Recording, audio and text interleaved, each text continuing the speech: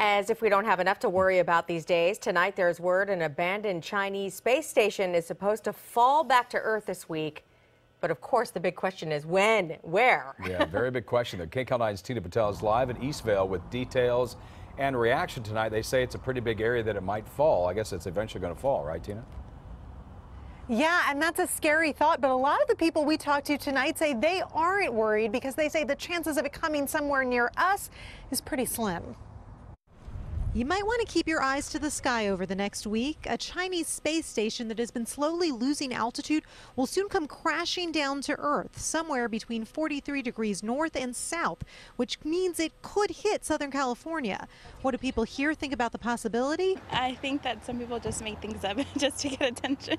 I would think it was made up story because I would think we would be doing something about it. Scientists say the story is real, but there's not much they can do because there's actually more than half a million pieces of space junk orbiting the Earth. Of course, this piece is bigger than most. Even if most of it burns up in the atmosphere, what comes down could be the size of an RV. Uh, about that, uh, you know, like a Winnebago in space. I'm about to undock from Tiangong. You might have heard of the Tiangong. It created a bit of drama in the Sandra Bullock movie Gravity.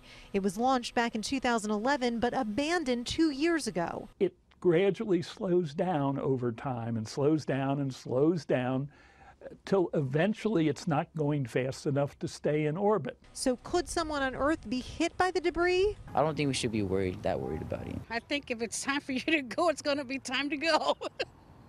That's my attitude. Experts say the chances are about 1 million times smaller than the odds of winning the Powerball jackpot.